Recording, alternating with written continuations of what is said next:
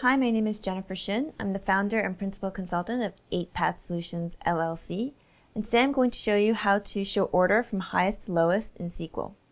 You want to enter select or type in select and the, the thing that you want to actually order, the field that you want to order. In this case, we'll use name and department ID.